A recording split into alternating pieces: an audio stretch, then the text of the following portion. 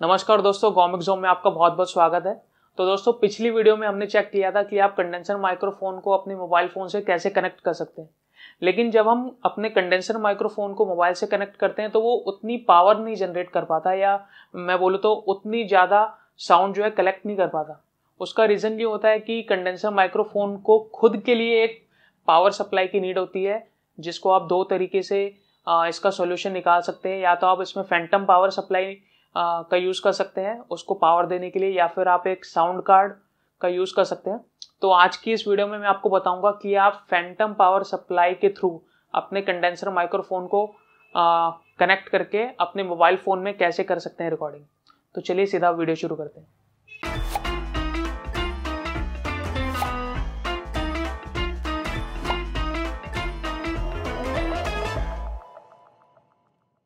तो दोस्तों पिछली वीडियो में जो हमने अपना हेडन का H Y eight hundred model जो कंडेंसर माइक्रोफोन है वो यूज़ किया था और वो डायरेक्टली फ़ोन में लगाया था।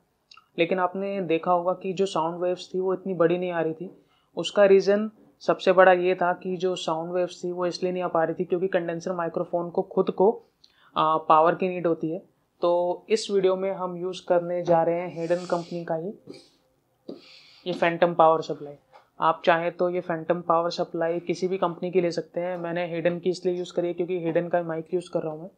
आप चाहें तो साउंड कार्ड भी ले सकते हैं। बहरिंगर का साउंड कार्ड जो है सस्ते रेट्स में मिल जाता है।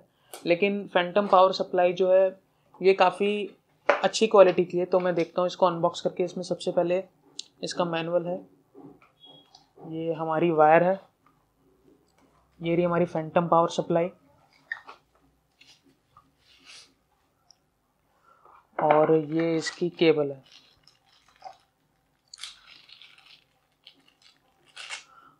तो हम देखते हैं कि इसको इंस्टॉल कैसे करना है और कैसे यूज़ करना है। तो सबसे पहले तो हमारा जो कंडेंसर माइक्रोफोन है, वो ये रहा जो हमने पिछली बार भी यूज़ किया था।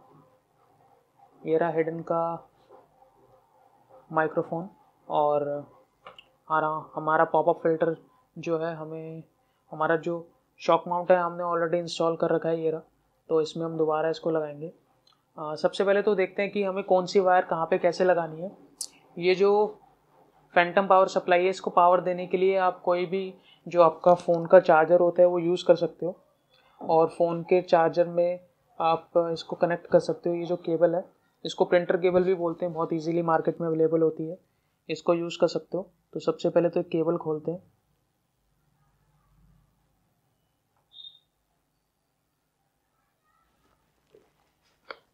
चार्जर का जो प्लग है वो मेरे पास अभी अवेलेबल नहीं है तो मैं अभी अपना लैपटॉप जो है, उसके थ्रू इसको कनेक्ट कर रहा हूँ।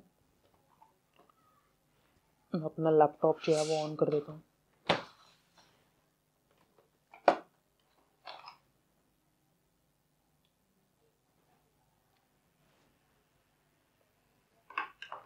और अपने लैपटॉप के यूएसबी जैक में ये लगा देता हूँ। मेरे लैपटॉप का काम हो गया इसको साइड में रखते हुए हम आ जाते हैं अपने बॉक्स पे।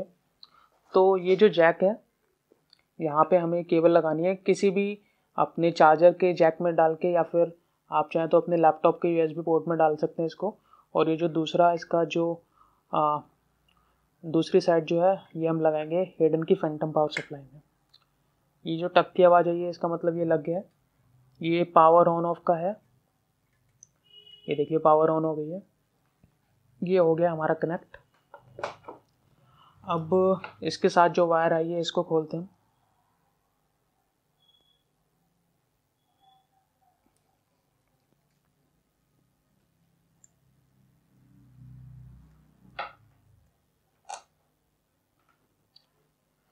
ये जो वायर है, हम सबसे पहले लगाएँगे अपने हेडन के माइक्रोफोन में। इसका एक जो पोर्ट है वो मेल है और एक जो है फीमेल है। जो फीमेल पोर्ट है, वो हम लगाएँगे अपने माइक्रोफोन में। ये हमने अपने माइक्रोफोन में लगा दिया और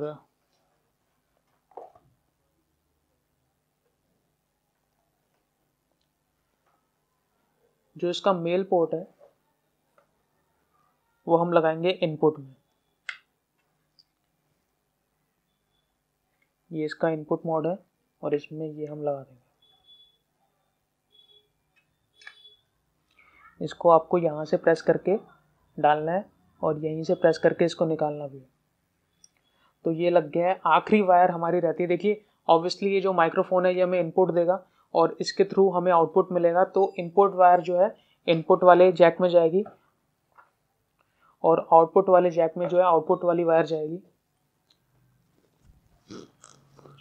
आउटपुट वाली वायर हमारी ये रही जो हमारे हेडन के माइक्रोफोन में अवेलेबल है।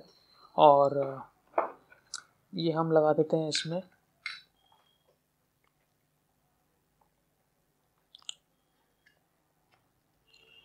ये हमने सारी वायर लगा दी है।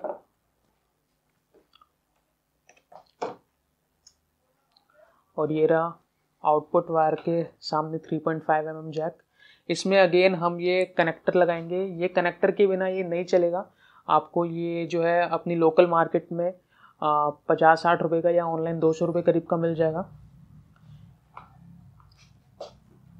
ये एक और सेम कनेक्टर है जो 3.5 पॉइंट mm जैक का है, जो हेडफोन और माइक्रोफोन को अलग करता है। आपको कोई भी एक ऐसा कनेक्टर चाहिए होगा। लिंक जो होगा इसका अब मैं आपको डिस्क्रिप्शन में दे दूँगा। तो हम इसमें जो माइक्रोफोन वाला टैब है, उसमें अपनी वायर लगा देते हैं। और अब एंड में अपने फ़ोन से इसको कनेक्ट कर देते हैं। चलिए सारा काम हो गया है। अब मैं अपना जो माइक्रोफोन है, उसको अपने शॉक माउंट में कनेक्ट कर देता हूँ।